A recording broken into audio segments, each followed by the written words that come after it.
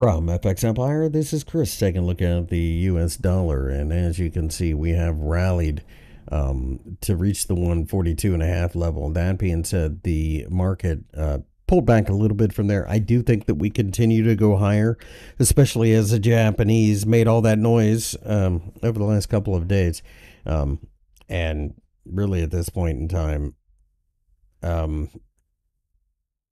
you know, they they they stepped into the bond market and started buying bonds again with QE. So that's what you're seeing here in this candlestick. So if we can break 142 and a half, then 145 gets targeted. The 50 day EMA underneath should offer plenty of support.